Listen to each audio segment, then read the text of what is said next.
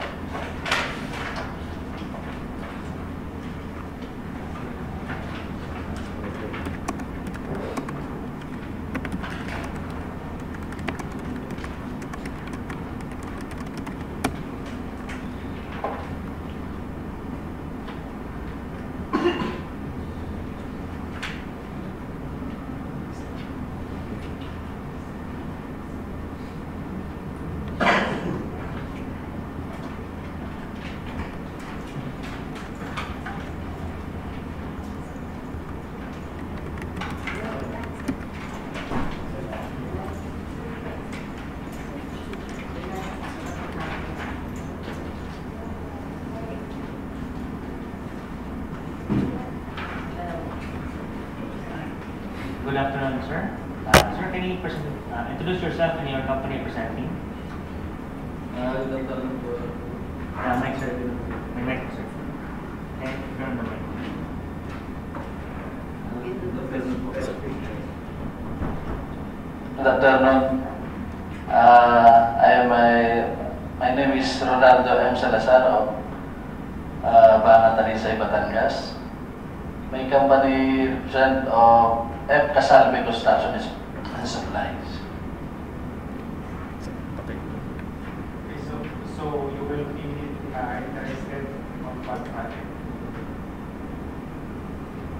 Both of two uh, projects, sir.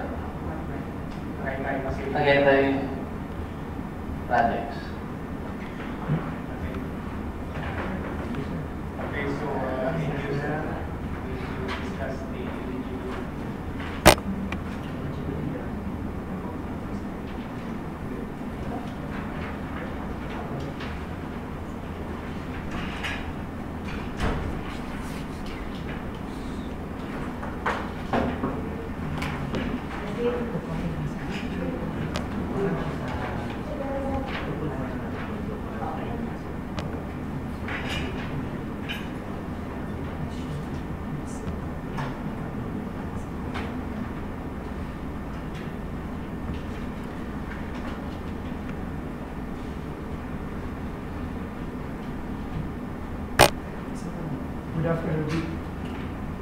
Good afternoon, Peter.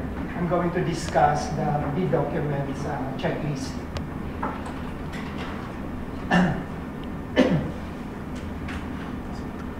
You need to, uh, you need to, you are required to submit the eligibility documents, technical components, and financial components. So I'll start first with the eligibility documents.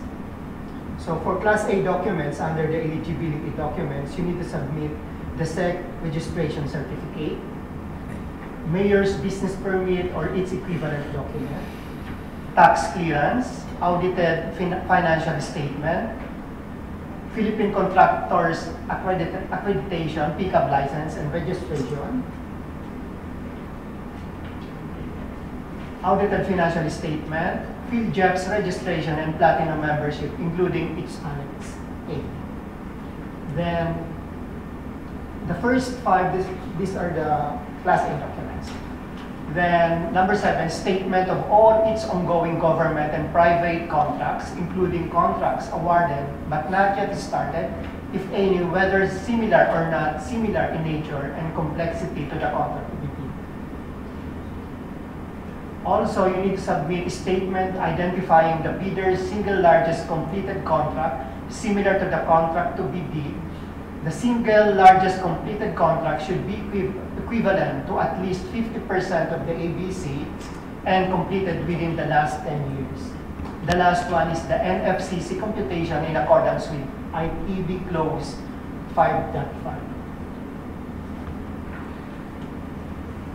For the Class B documents, this is only applicable the joint venture bidders shall submit a joint venture agreement in accordance with RA 4566 and its IRR. Then for the technical components, number one, you need to submit the bid security. This, in, this is in accordance with ITB Clause 18 and shall be limited to First one is bid security declaration or cash or cashier, cashier's uh, manager's check. But third one is bank draft guarantee and the surety bond. The surety bond in the amount of not less than 5% of the ABC. Then the second one is the organizational chart of the contract to bid, list of constructions personnel, list of construction equipment, omnibus sworn statement, then certificate of site inspection duly signed by the facility in charge or his duly authorized representative. And this shall include the following as attachment to the certificate of site inspection and shall form part of the bidder's technical documents. The photocopy of the company ID of the persons who conducted the site inspection and the photocopy of the air- airport's or facility visitors logbook. Then the last one is the bid bond bulletin.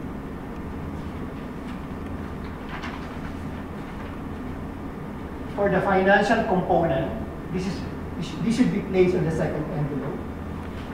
The first one is the financial bid form, the bill of quantities, the bid proposal, detailed statement, summary of unit prices for the materials, labor, and equipment, and the last one, and this shall include all the following doc- document as to the cash flow by quarter and payment schedule and shall from part of the bidders, shall form part of the bidder's financial documents.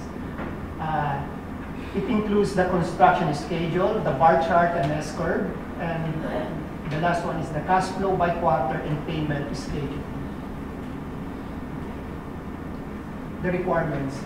Uh, each page of the document must be signed, initialized by the authorized signatory of the company.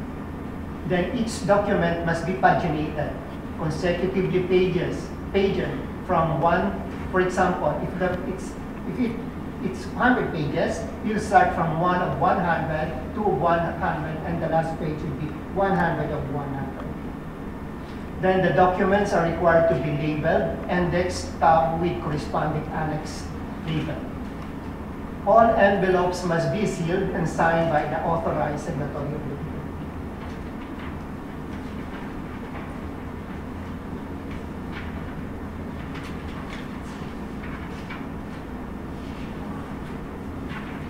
The format should be, uh, the technical and eligi- eligi- eligibility component should be placed in one envelope, and the financial component in another envelope. And these two envelopes should be placed in another envelope, and you have to copy, make two copies of these documents, and place it in one big main, main envelope.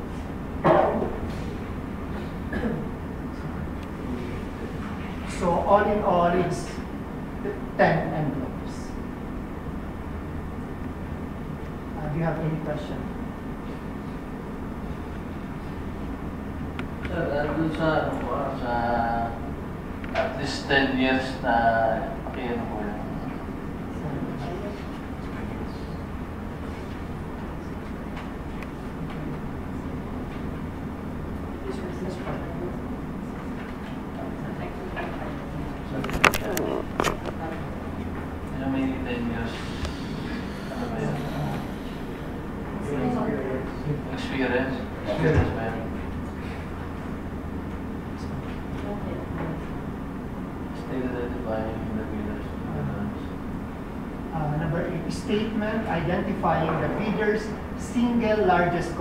contract similar to the contract to be. The single largest completed contract should be equivalent to at least 50% of the ABC and completed within the last 10 years. So, within the last 10 years. Last 10 years yung kailangan complete ng package. 50% leader, sir, can you check sa uh, section 5.4b? The purpose of this, uh, for this purpose, similar contracts should refer to contracts that have been the same major categories of rehabilitation improvement, or repair works.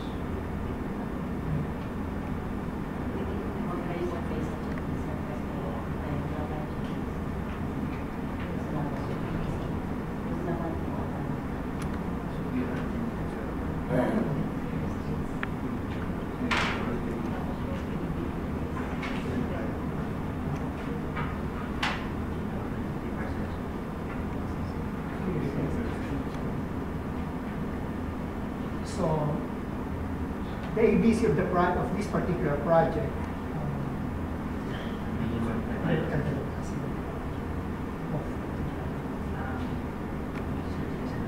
Yes. So for example, for the first project, the rehabilitation of existing. Okay, the, the first, because these, these are two projects. So projects. The first project is the improvement and rehab of existing perimeter fence of ANF facilities and other works in Tagaytay facility. The ABC of this project is 1,482,000.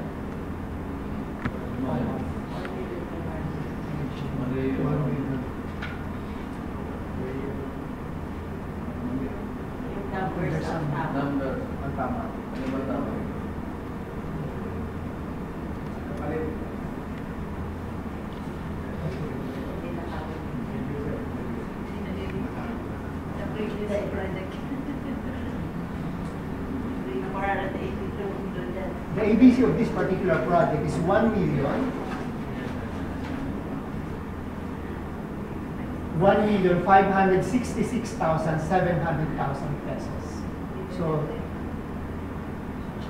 this means 50% of this uh, amount. And the project should be completed within the last 10 years. Last 10 years. Yes.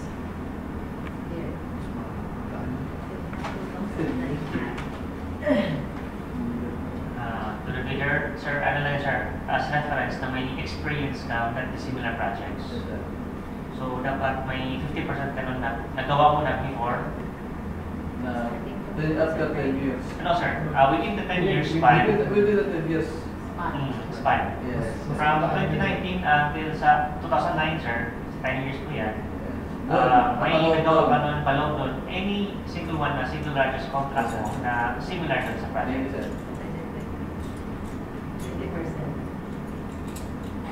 Any other questions? Ah, sir, yung pong big dogs niya, magkahiwalay sila? Yung... Yes. Correct. Wala.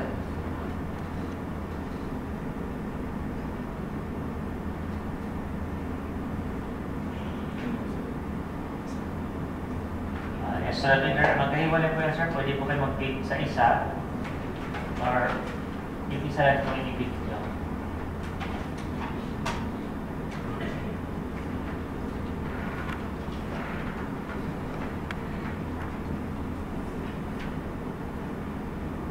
Excuse me, sir. Pwede ba? Ah, yung pong bang listing niya, maka pwede makakakuha kami ng kopya? Yung listing ng mga requirements. Uh, sir, everything is in the bid document. You Nasa may download it from the PhilJobs website, free of charge. If you have a login account sa PhilJobs. Okay, okay. Ah, nasa bid docs wala. Yes po, sir. Ah. Just read it thoroughly, sir.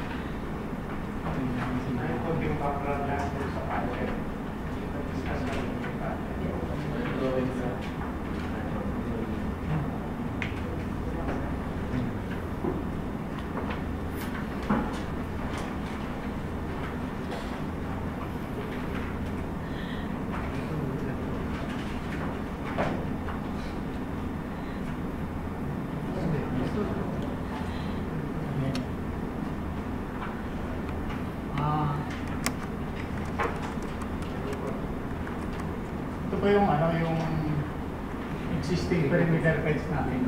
Apo. Ah, i-improve dito sa dito sa rear elevation niya. I-improve lang natin ito. Itataas. Bali ito yung magiging ano niya. Cyclone ba yan? Cyclone wire. Cyclone ba? Ang height po niyo sir ay Bali 120 yung cyclone. 1 point 1.2. 1.2. Tapos yung mga ano, yung DI5 frame. Dito sir sa, ano, sa column niya, sa poste. Gano'ng kalalim yan? Ah, more or less mga ano yan. 0.60. I-check mo yung 0.6. 6. 0.6 meter. Ah, check mo yung At dati. chip pa po. Then, Tapos buhusan. Buhusan. Then nagbabaon yung GI5. Oo. 1.20. Welded lahat siya rin? Yes, sir.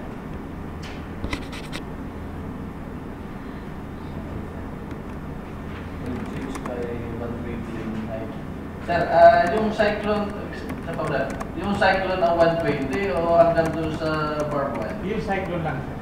120 yung cyclone. Then yung barbed wire, ang total height niya, sir, ay? 1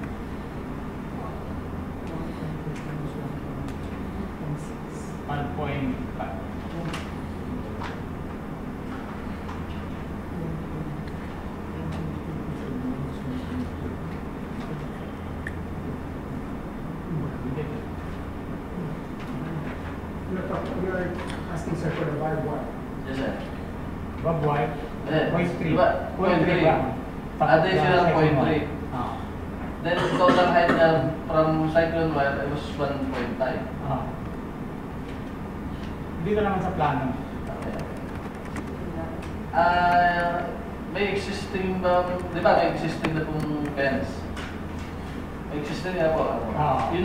Yun na lang ang susundan o magda-additional pa tayo ng height Hindi. ng Sundan na lang natin yung existing. Yung existing. niya. Then kung yung elevation niya, palusong na gano'n, basta Ah. ganun lang. Tatanim lang lahat yung J5. Yes, sir. Okay.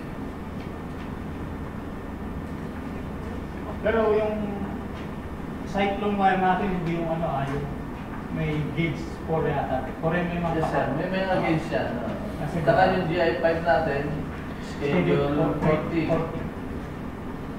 Ang barbed wire, wala namang ano yan eh. Kung ano lang yung talagang regular na ginagamit natin sa pagbabaho.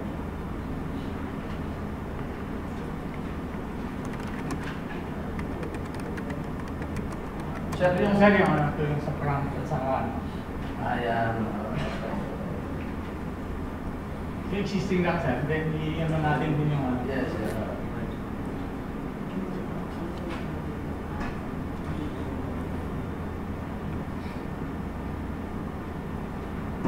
Ay, isa sa pang question po. Ano? Kasi doon sa title ng project ay may other works. Ano nakalagay? Oo. Nasa Bintox po yung other works na yun. Kasi may ano naman sir. Then, I-present ka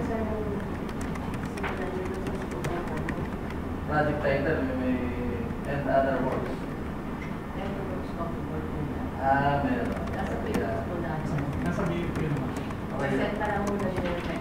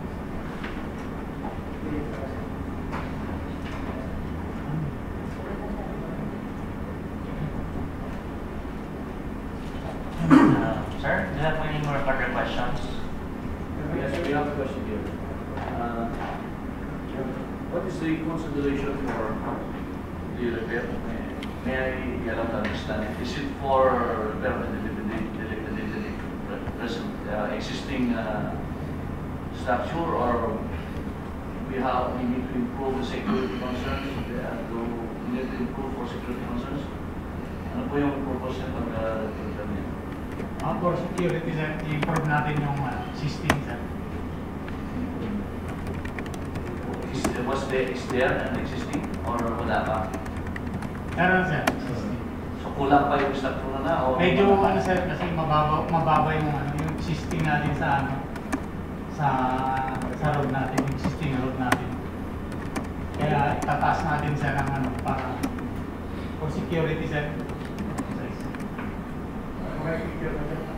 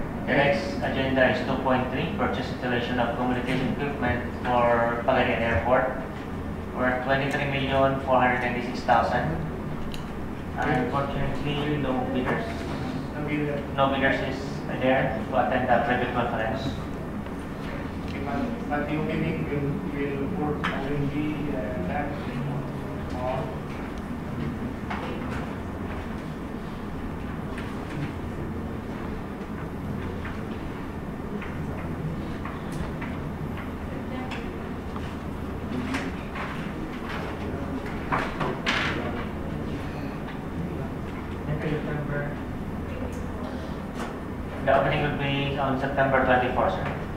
Okay. Okay. Uh, okay, so we have only three agenda. Uh, is there any other, uh, other matters? We have other matters, sir.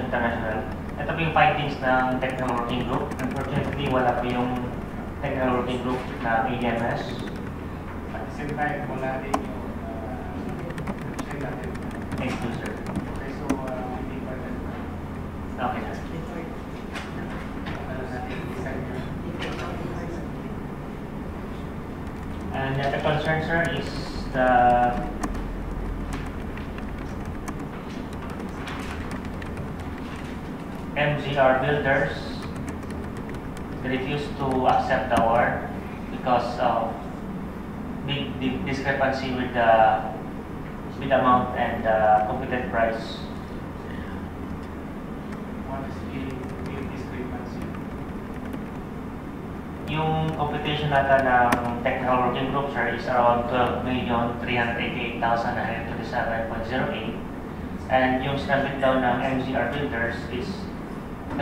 199,299.16.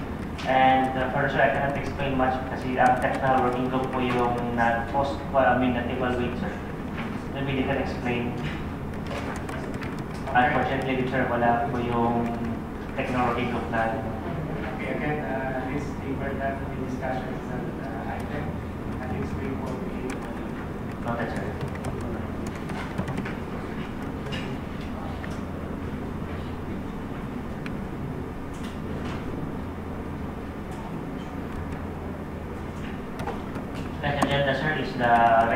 current user for PREPROC, establishment of ADSB ground station, including data process processor.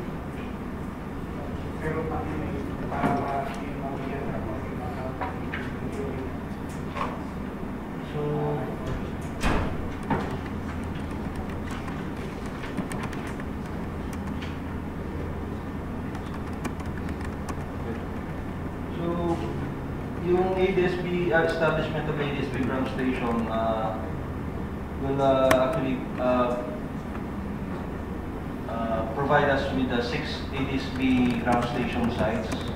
Uh, one in uh, Lawag, General Santos, Puerto Princesa, uh, Jumalik Airports, and uh, one in Ma- Magic and Tagaytay Radar Facility.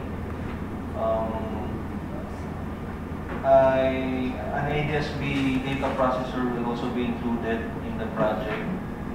Um, and uh, integration of the data, surveillance data from the aforesaid sites and including the existing ADSB ground station uh, surveillance data po i-integrate dito sa project na to.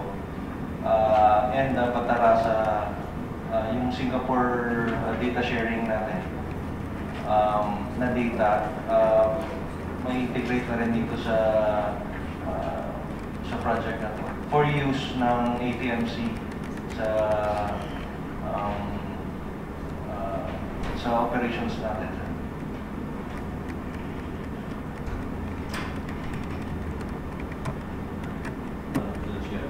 Is it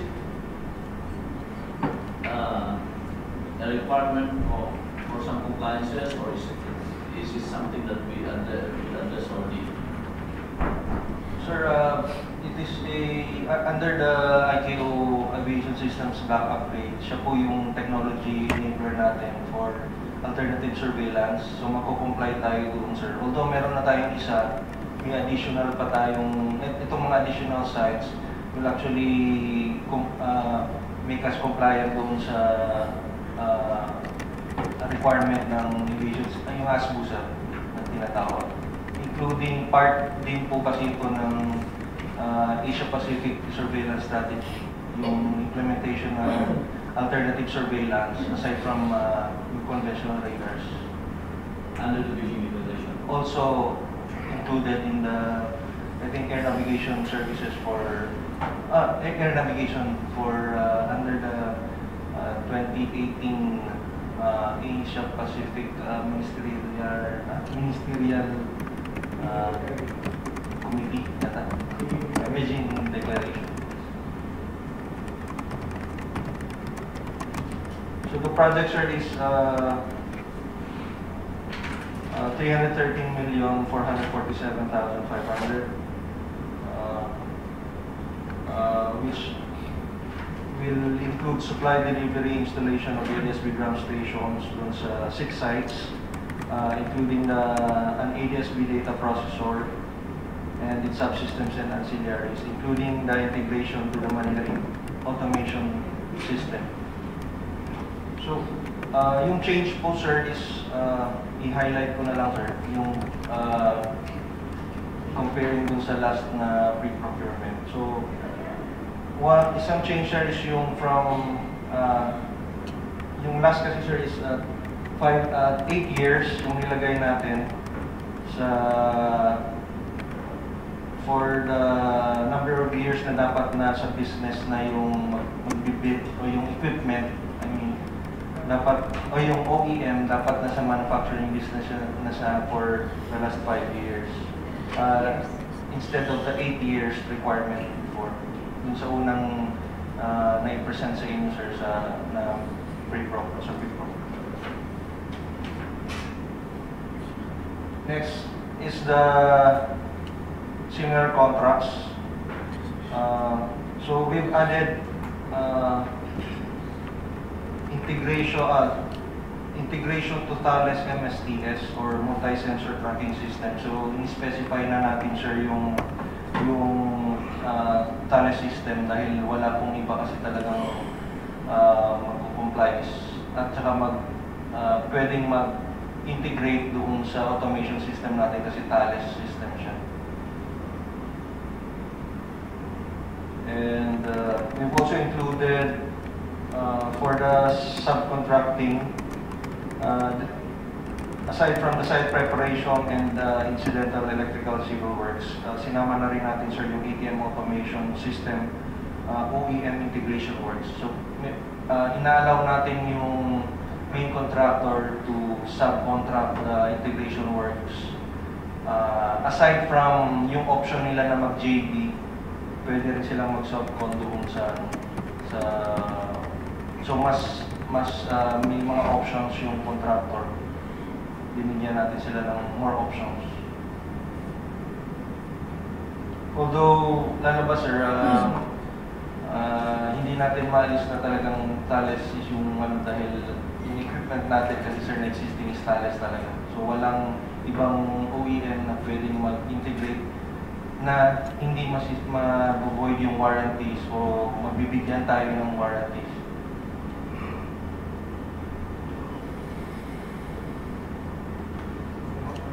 Uh, participation ng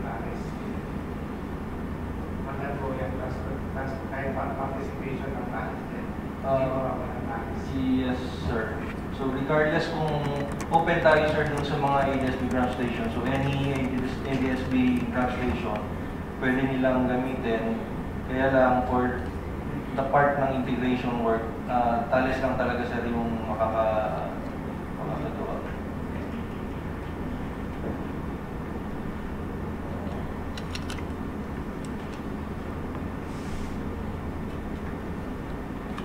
Next is uh, yung list, sir, na nire- i-require natin ng mga documents uh, during the bid submission at saka sa post-wall.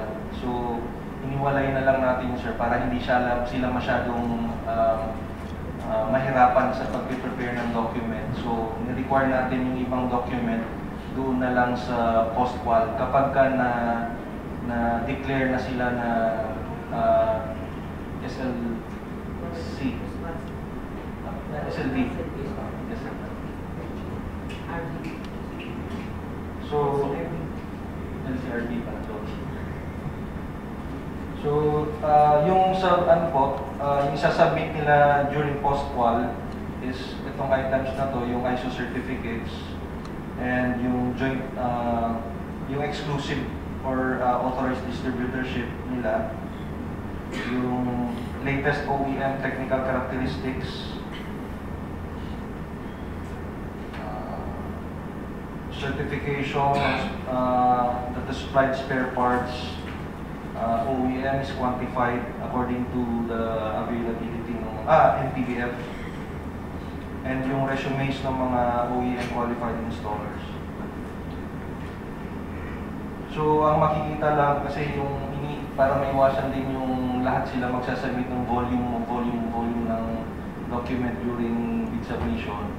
Sa post-qual na lang yan kung sino yung uh, ma-declare for post-qualification evaluation. Siya lang yung magsasubmit ng mga uh, sure, uh, technical manuals, etc. Para madali rin mag, ano, mag-evaluate. And then for yung isasubmit nila at doon mismo sa bid submission day is yung uh, the are the following items. Yung proposed design drawings, yung certification of the OEM manufacturer of the Manila ATM system, uh, proposed project implementation schedule, maintenance plan, uh, list of test uh, instruments and special tools offered in the bid or included in the bid, uh, spare parts list to support 99.9% systems availability and certificate of site inspections. Yun na lang sir yung i-require natin sa. So medyo limited lang, hindi na sila yung ga-ref yung sasabi ng documents. Yung ID sa uh, ID sa copy ng maintenance na kailangan na visit sila. Uh, hindi na sir. Uh, enough na sa amin sir yung certificate of site inspection. If ever naman na medyo may doubt tayo doon sa certification, we can always uh, do a uh, a-check doon sa facility kung talagang nagpunta ka.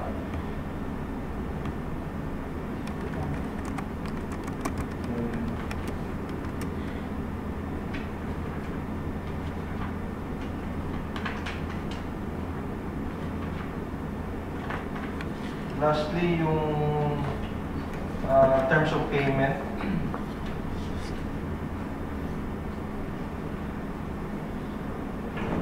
Revised the terms of payment. Uh, actually, sir, yung standard sa billing document is uh, 15% for those uh, for items na um, coming from abroad or supplied from abroad. Uh, 15% siya upon contract signature and then 65 sa upon delivery, then 20 I think sa acceptance. Now, na medyo hiniwalay lang natin yung dalawang ano, ah, yung sa 65. Ah, bali ah, sa upon contract signature, same pa rin sir, 15%. And then yung uh, require na natin yung on completion ng installation of all ADSB ground stations, uh, 25%. And we've required that a certificate of completion issued by the bidder with attached OEM certifications for each ADSB ground station certifying that all systems or subsystems are properly installed as per specification. Is safe for use and have passed all the local site tests. Next is the on completion of integration works. So sa 40% naman siya. So hindi hindi unlike yung sa original terms of payment, nang ma-deliver lang nila, pwede natin ang bayaran kagad ng additional 65%. So dito kasi crucial na mai-integrate kasi may, may ma-deliver nga nila, hindi naman natin magamit. So doon sa original, pwede natin bayaran eh. Dito dapat complete yung ano, ah, yung project. Um, including yung integration, sir. And then, uh, last is yung on acceptance, yung standard naman siya 20%.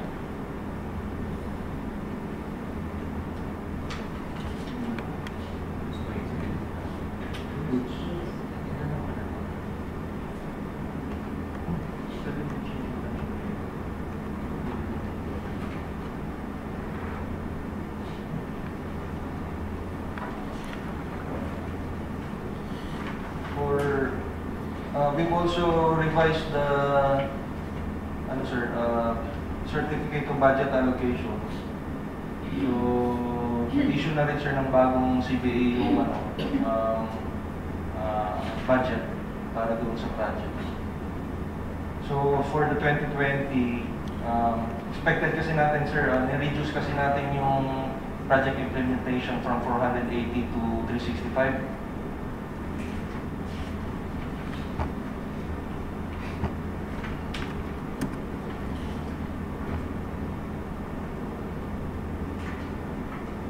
So, so yung project ay matatapos sa 2021. Yes, sir. Yung uh, all test, uh, commissioning na siya sa 2021.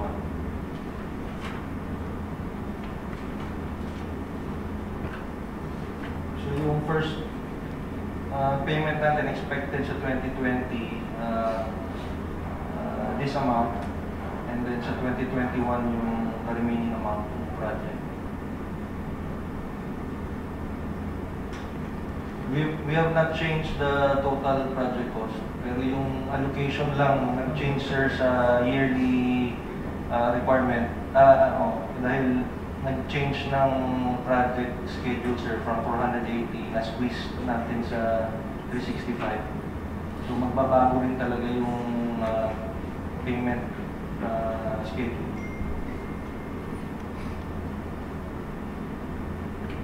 Uh, to the chair. Ba siya nabilong sa multi-year contract, sir? Sa multi-year contract na ano siya sa for two years, tapos yung first year, ganito mabayaran na amount. Second year, ganito amount. Yun ang ganyan. Kasi, So, 2020. 2021.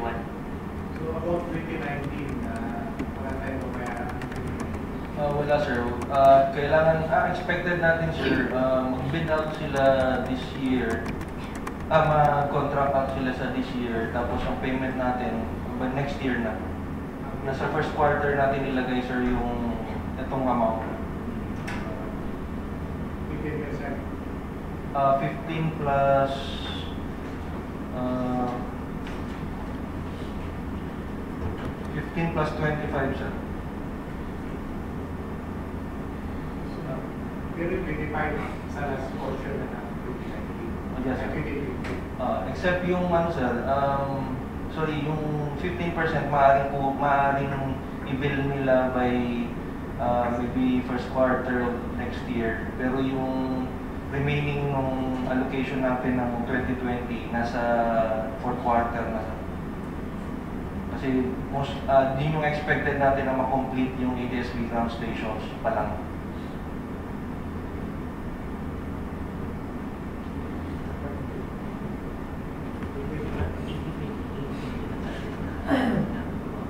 Ah, wala tayong ah, for the APP sir, wala tayong amount ah, na ni-reflect for this year.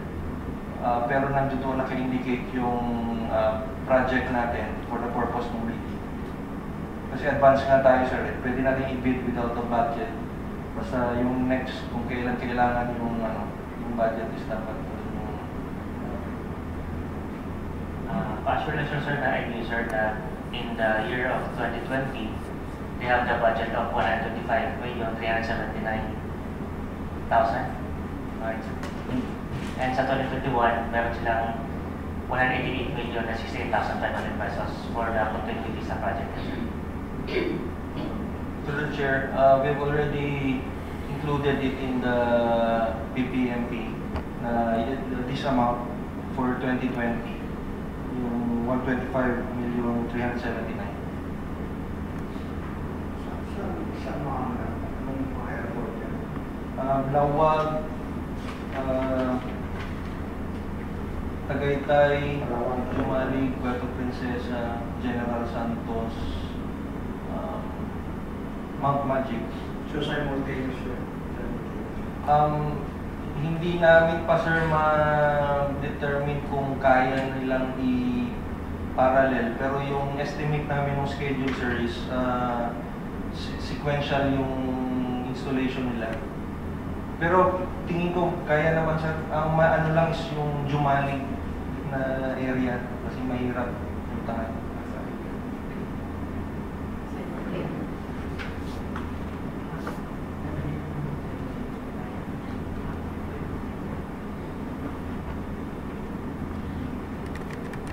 So ito sir yung uh, tentative project schedule. yung dito sir base yung 300, yung estimate natin na 365 calendar days.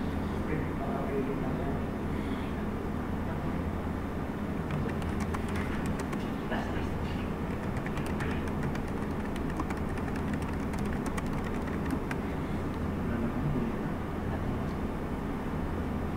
Walang araw.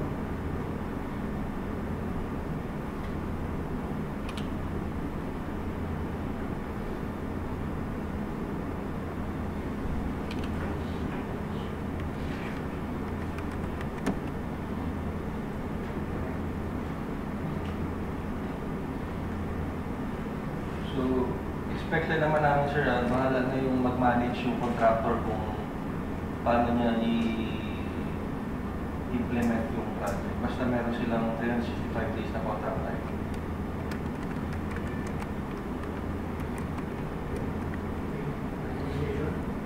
Um, sir, may we uh, request for the publication of the project, sir,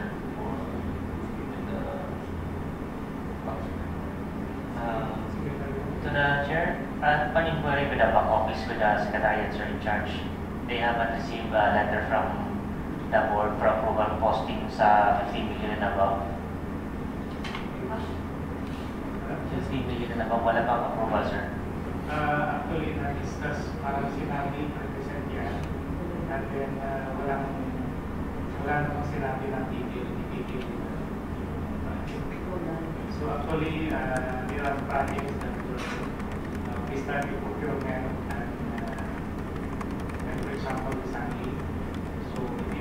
natin request sa kanila. Prior to procurement, hindi natin request. So, ang, ang padalang nila is in-approve nila yung awarding. So, ganun din mga nangyaring, meron din mga project na 450 million, na in-approve nila yung award, pero hindi na nila rin-report dun sa, hindi na, hindi na nagsimula sa So actually, I think this one was presented also uh, mentioned, mentioned during the meeting in the board at wala naman silang comment. Sinabi, parang sinabi niya na lang, parang uh, uh, represented niya, di ba, sin- sinanggit niya pero hindi, hindi parang, uh, hindi binanggit. Pero wala naman silang, ano, wala silang, wala silang objection. So then during the meeting, we are waiting, I think the user is waiting for the board to be called to present the project. Pero hindi naman sila tinawag. So yung board secretary, secretary na lang Thank you.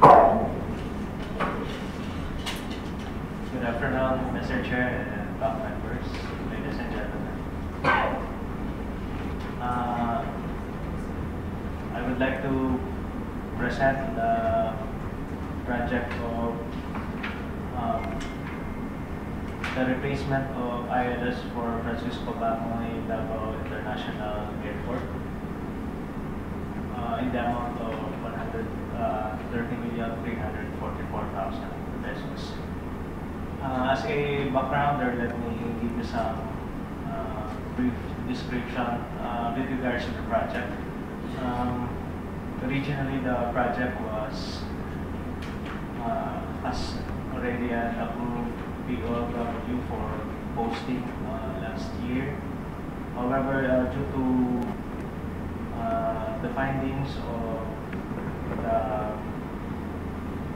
the Bureau Veritas, uh, uh, the FIC of ANS in Davao Airport requested uh, um, to to uh, delay the the procurement and uh, prior to the investigations. Because the findings uh, uh, of the Bureau Veritas uh, uses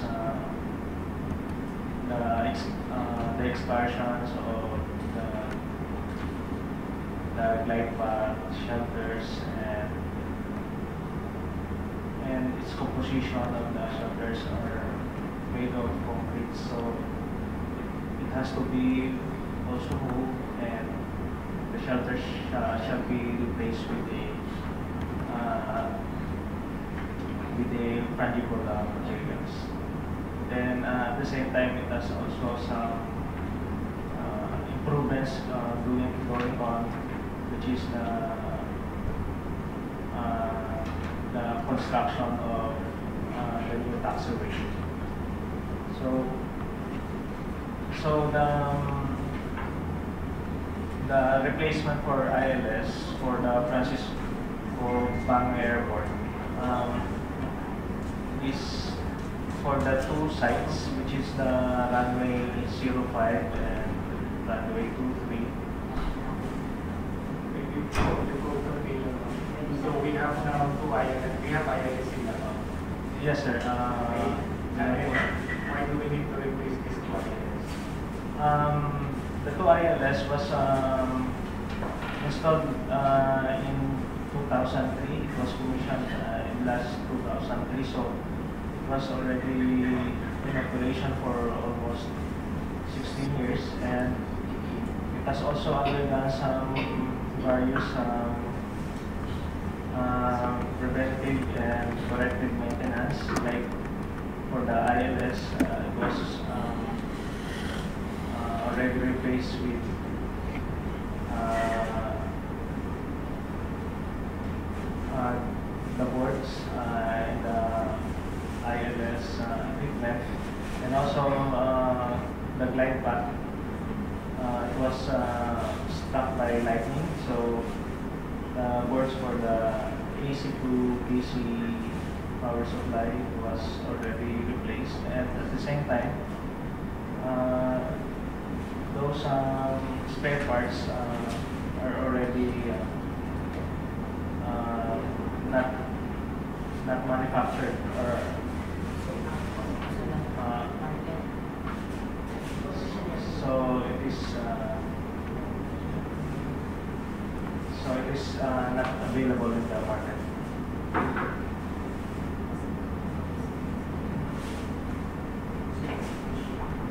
And um, the this project um, upon site survey was uh, using uh, the wireless link for the remote monitoring and uh, this uh, the new design for this project will be using a fiber, fiber optic uh, connection uh, to to eliminate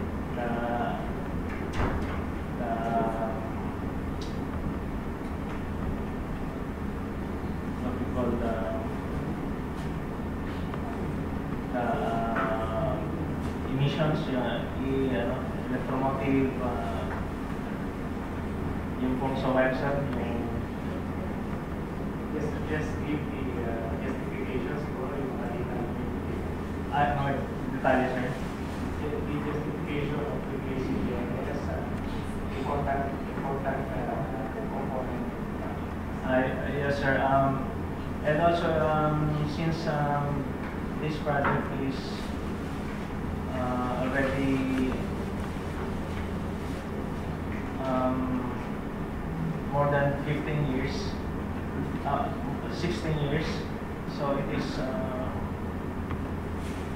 it is um, it has already come here.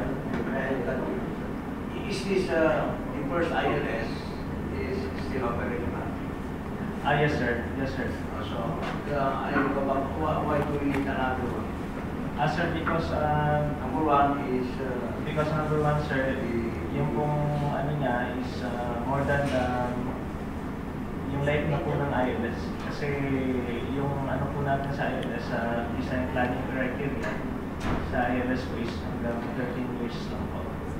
So ano, ilan ba yung, ano, ilang, ilang taon ba dapat ang isang ILS? Ano po, ah, 13 years po.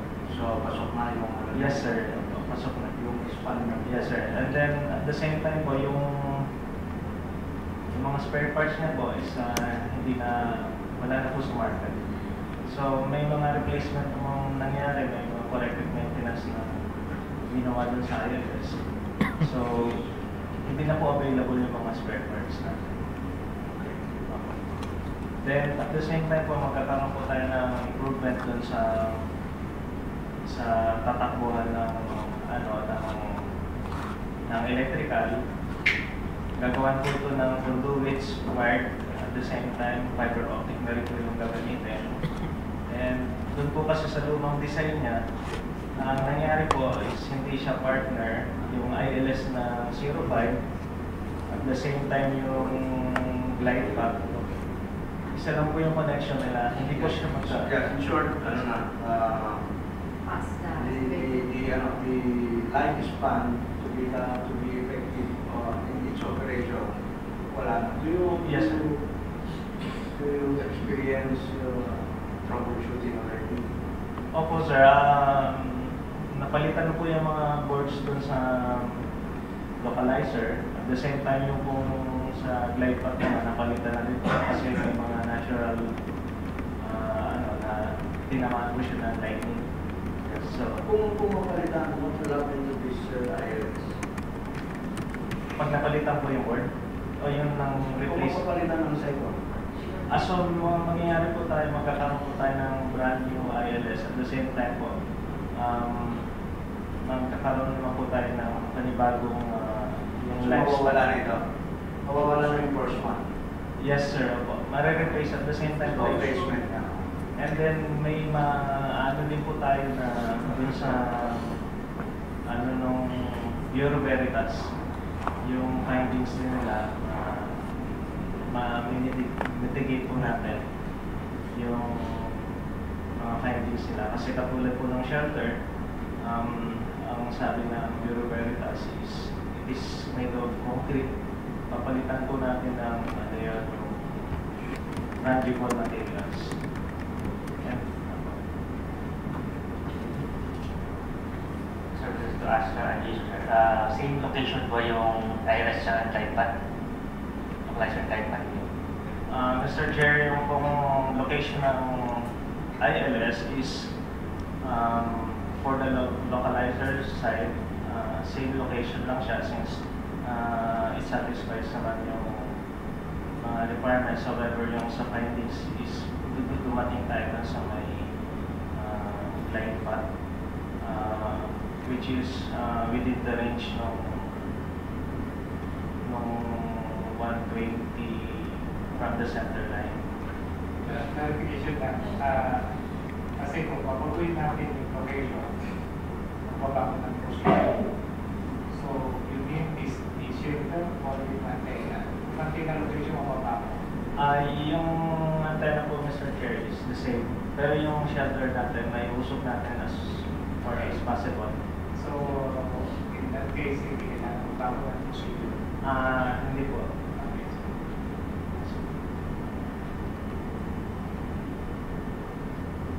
So,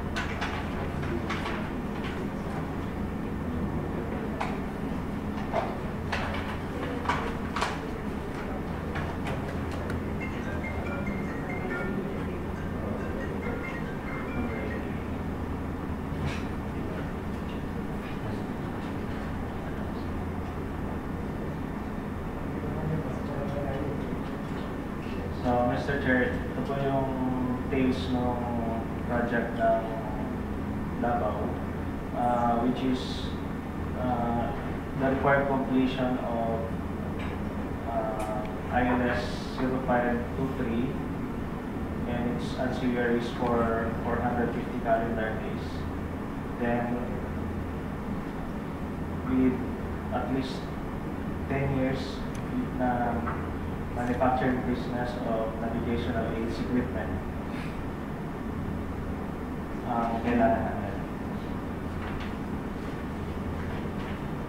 Then, for the requirements,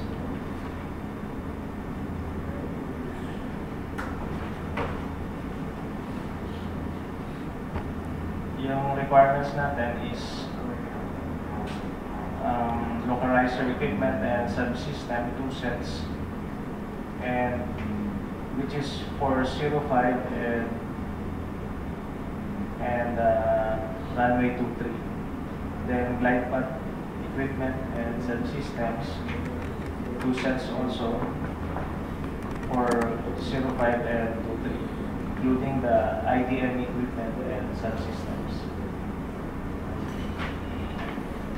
Then sa system monitoring and control equipment, one set. And since uh, this calls for the replacement of localizer and glide, glide path equipment shelter, so magre-require po tayo ng lot. Bali, so almost four shelters po ito sa lahat-lahat. Then spare parts. Then we will be needing uh, test equipment and tools.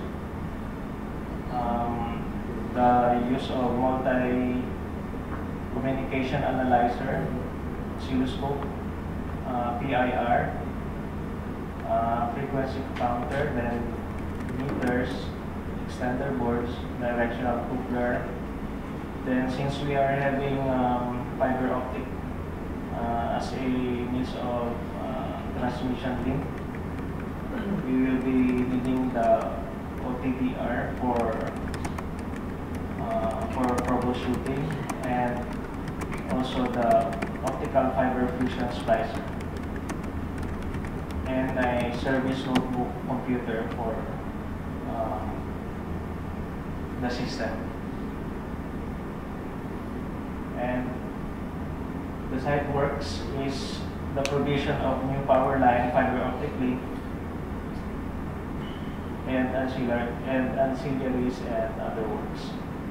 We also have a training and for the project,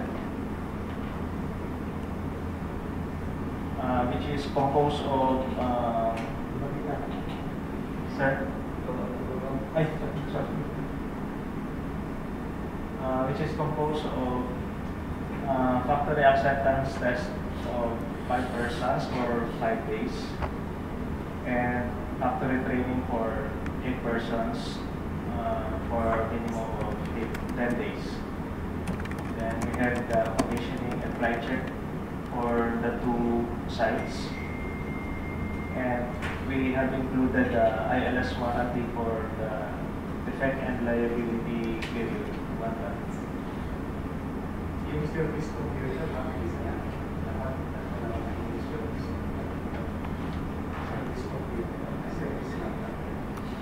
Um, sir, kasi po kung ano, since uh, ano, isa-isa lang naman yung pag ano, dun sa two set, isa na lang nilagay namin. Yes. And then uh, at the same time, sir, um, may mga existing ano na rin doon na kasi may mga projects na rin tayo doon na ano, so may laptops na rin na available. So masyado nang marami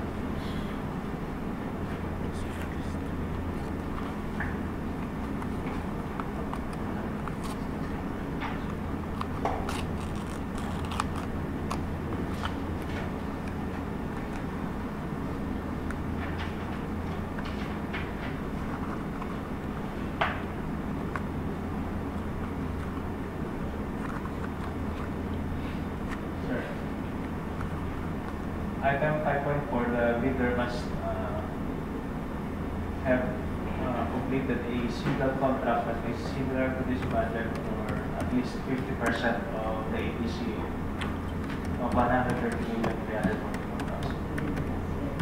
And uh, similar projects refers to the supply delivery, installation, testing, and commissioning of iOS within the last 10 years.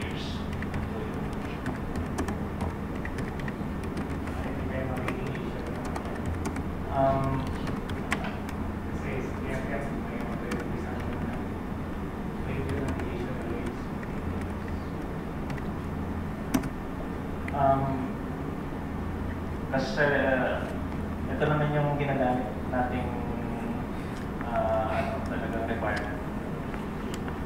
Na, at the same time, sabi nyo dito sa page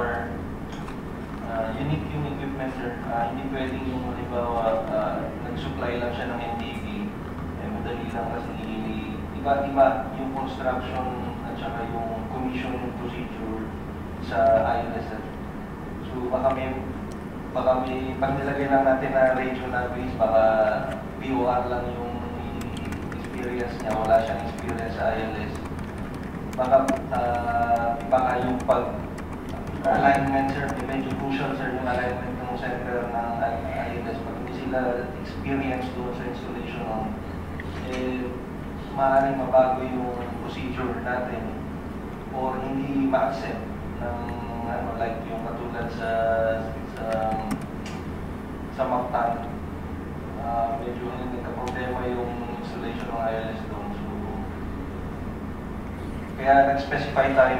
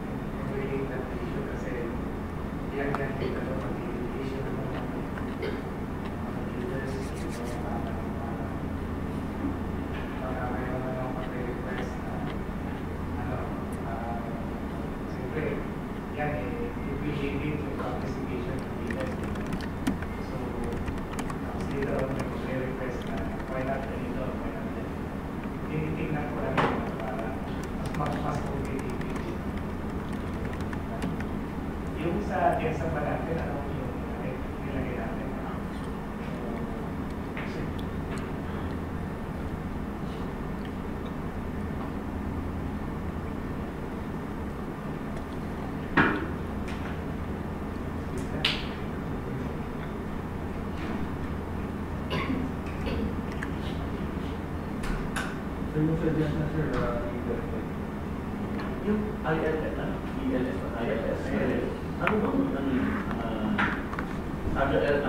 other, installations na uh, kailangan yes, sir.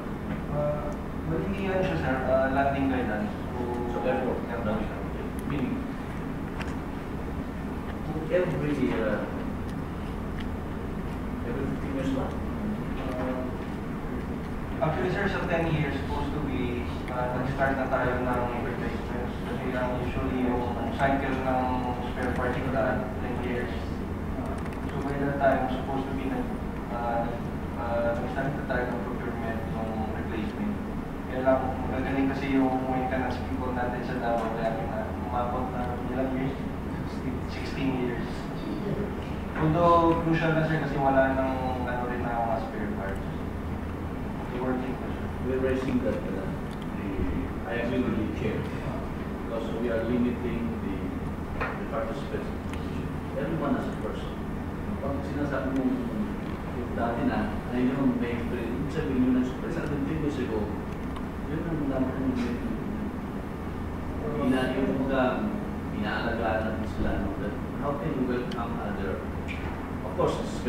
so I invite your prudence, I invite your judgment here. You cannot comment kung kailangan ba talaga o hindi. But the essence here is that we invite other participants.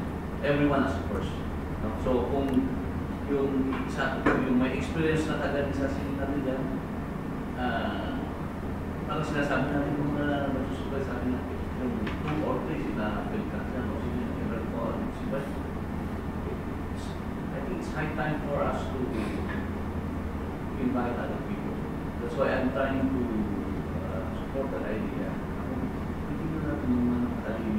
Anyway, we are there for the post one, we are there for the, but uh, we submit to the, to your ano, wisdom as the technical man. So your role here is very crucial. It's a kind of uh, Actually sir, na hindi naman natin ililimit yung yung ah, yung experience talaga na uh, ka yung sa last ah, 10 years. Um, yung mga bidders, may option naman sila na uh, going to uh, or going to JV, the joint venture. So yung experience ng OEMs nila nadala, nadala naman nila yun. But what, what we are asking is that crucial sa sa atin for advantage sa government kung yung kukunin natin mag-install is talagang may experience sa sulit sa uh, ILS. I was asking kung sino ba na kailangan na ILS. So, the airport. So, talagang mag-JV ka man dyan, yun yung mga dati mong supplier. Or, or para naman medyo may iba yung pangalan mo, JV-JV mo tayo. Ito ang sinasabi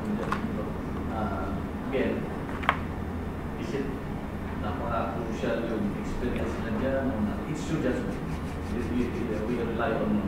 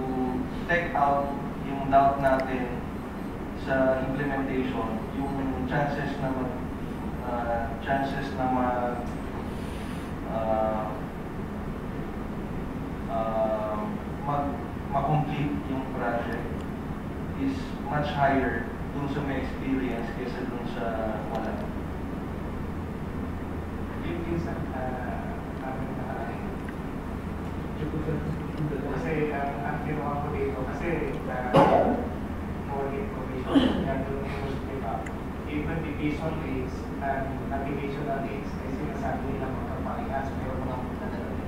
So how much more complete ko ngayon, radio navigation, ILS lang nilagay natin. So actually we have the V, V, visual navigational rates and radio navigational rates.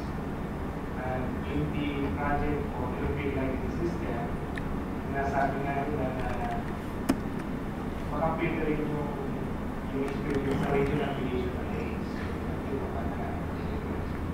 module, hindi naman natin pinapigil yan. Ito ngayon, radio navigation arrays are different uh, types. Like for example, DUR and ILS. So ngayon, we have all the required only ILS experience. So kaya ginawa ko ngayon yung GERSA kasi previously na COVID tayo. So kailangan, uh, kung ano yung talaga natin sa GERSA,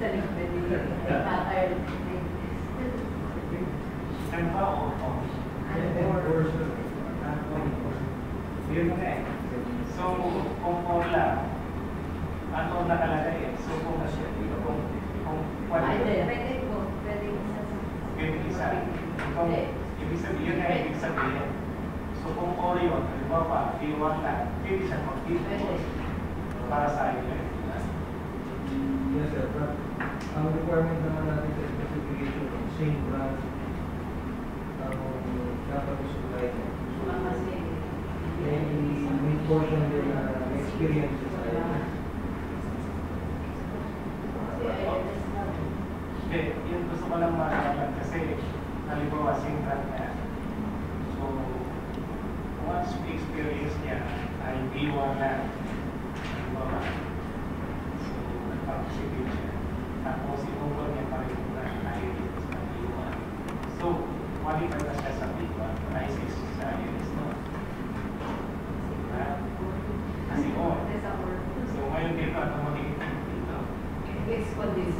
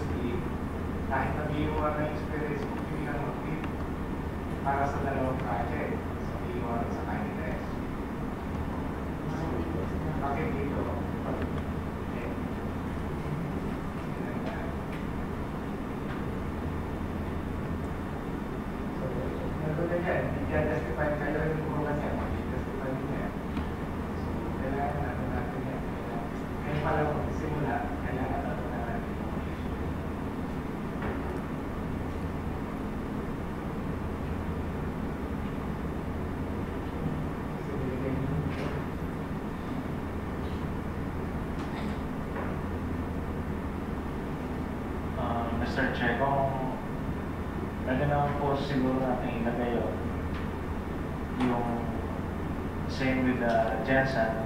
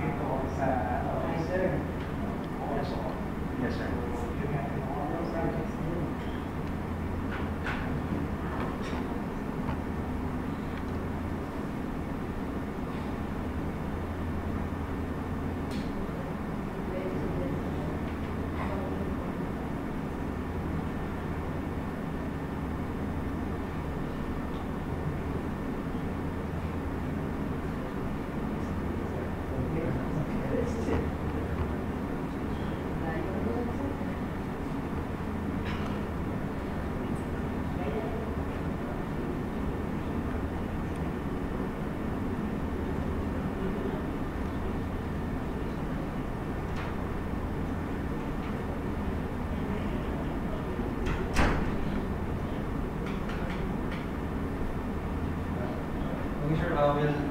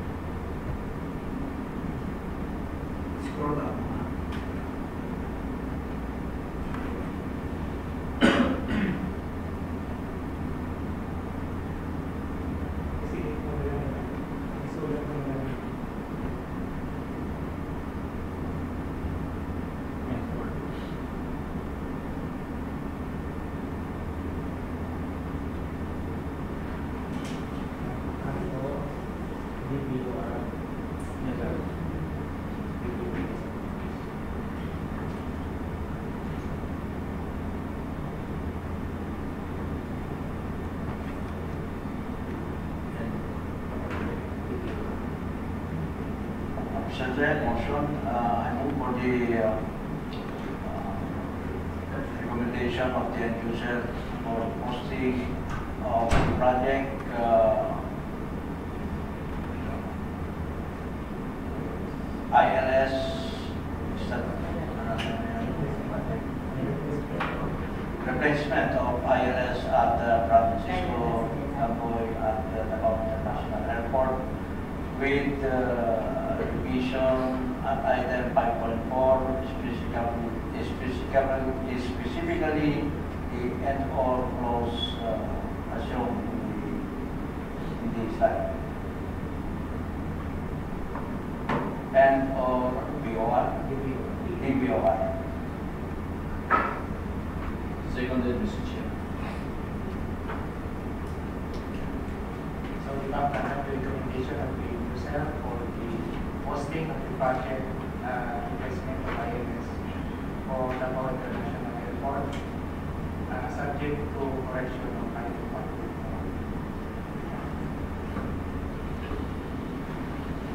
That's the last agenda, sir, for other matters. So this, uh, this will be the, uh, this we expect the pre-procurement and, uh, con- procurement conference on Monday. Um, expect, sir, upon they give us the document, probably that will be posted by next week. So if you fall on our calendar, sir, that our meeting will be fall on Tuesday, expect to be a big government on September 24? Okay, so I, I, I request the Secretary of Commission the members of the for uh, all members of to present because we are expecting that uh, maybe uh, leaders will have a and also uh, on September 24, we have uh, of bids for the three projects which are spread government. Uh, credit con- conference today, sir.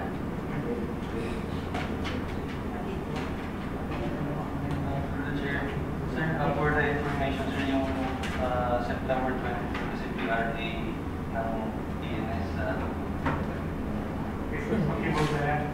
Kasi, So, Probably, sir, will be moving and a week after. It's on Tuesday. Kung ayaw natin ng Thursday po, sir. If we proceed with Thursday, kung okay po sa back members, that will be on September 26. If sir, it will be on October 1. paki, pakipan lang yung uh, other back papers. Kasi, maraming issue. So, uh, mas maganda mag-date lahat ng back.